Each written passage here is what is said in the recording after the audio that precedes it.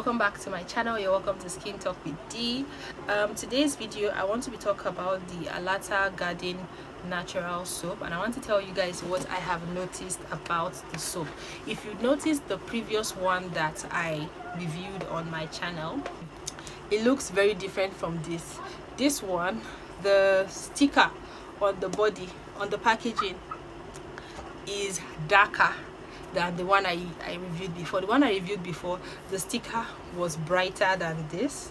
If you've not watched this I'm going to leave a link up and also down below in the description bar to that video that I did before on the Alata Garden Natural soap. So this is the one I got recently for my brother because he's in love with this soap like you can also see the cover looks darker than the one I reviewed before. That's not all would also notice that inside the color of the soap looks darker than the other one I used before. Finally the smell.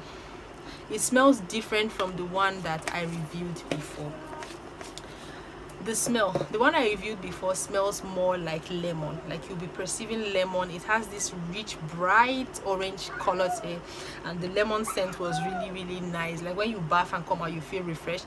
This one smells like black soap. It smells like black soap.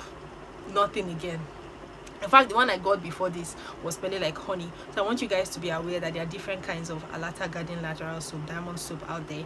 Like there are different types different types guys. And these different types of soap all smell different.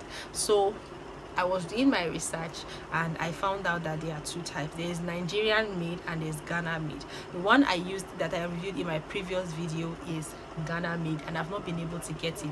But this one I heard that it is manufactured and made in. I was told that this one was made in Lagos even though they write here that it's made in Ghana. No, it is an imitation. So be careful if you want to buy the Alata Garden Natural soap. Always insist on opening it. Look for all these features that I've talked about before you buy. Please and please. If you find this video helpful i don't even know if i did an intro. If you're if you're new to this channel you're welcome. If you're an old subscriber you're welcome as well. And please subscribe to my channel like this video share and comment till i come your way again next time